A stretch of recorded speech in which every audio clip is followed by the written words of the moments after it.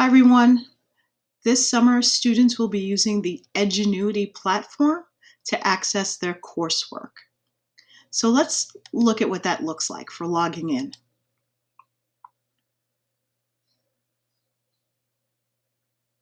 I'm going to turn off my camera. Students will be logging in through the Student Login button.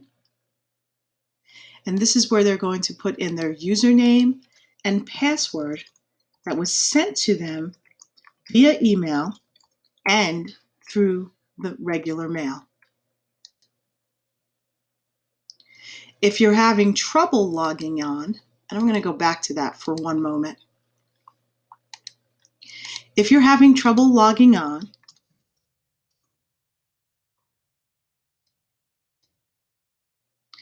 you can always say forgot password, or you can reach out to your teacher for information.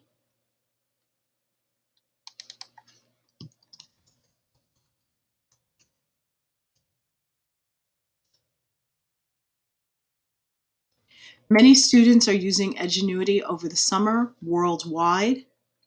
So sometimes if you're having some difficulties logging on, just give it a moment, or you might need to log out, or you might need to just wait a few minutes before you can log in.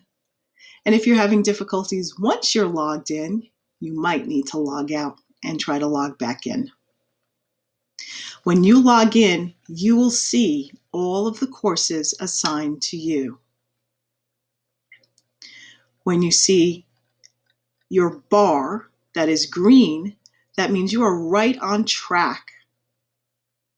When you see a red bar, it's letting you know that you're a little behind according to the time that you would need to do your coursework.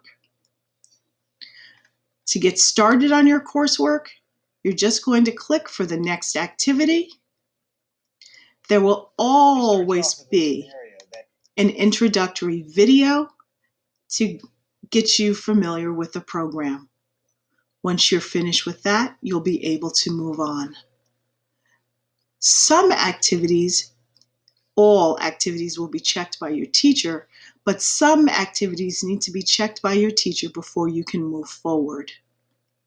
If you have any questions, please reach out to your teacher and they will be more than happy to help you.